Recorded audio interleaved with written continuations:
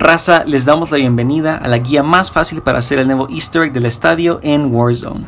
Básicamente, durante la partida aparecerán tres tarjetas azules en el estadio. Estas tarjetas pueden ser usadas para entrar a cuartos secretos, los cuales tendrán una computadora con un código. Una vez que tengas los códigos, los juntas y los introduces en una puerta.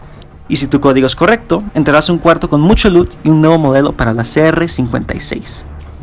Entonces, en este video vamos a explicarte cómo hacer el easter egg paso por paso, pero antes que nada, ahí te van unos consejos. Primero, haz este easter egg en modo saqueo. Es más fácil y hacerlo durante el Battle Royale va a ser demasiado caótico.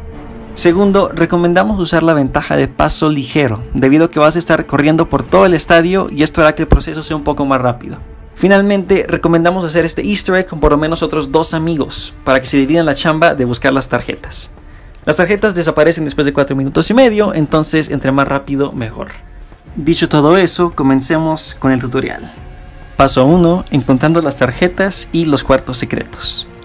Las tarjetas que estás buscando son las tarjetas P216, EL21 y CL16. La P216 la puedes encontrar en el estacionamiento. En cuanto la tengas, busca el desnivel que te lleva al piso inferior y en una esquina estará el cuarto secreto. La CL19 la encontrarás en el nivel medio del estadio. El cuarto secreto se encuentra por el área donde hay un bar y donde están los puestos de comida. La EL21 la podrás encontrar en el nivel superior. Busca la puerta con el lector de tarjetas y así entrarás al cuarto secreto. Paso 2. Los códigos.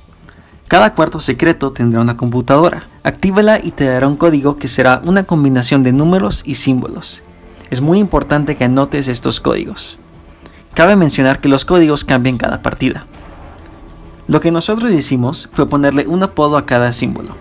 Entonces, a este símbolo lo llamamos casa, este símbolo lo llamamos nariz y este último símbolo lo llamamos flecha, porque pues parece una flecha. Una vez que tengas por lo menos dos códigos, tendrás que combinarlos para descifrar el código completo. Demostraremos cómo lo hicimos nosotros con los códigos que nos dio. El primer código que sacamos fue 5, 8, nariz, nariz, casa, 1, nariz, casa.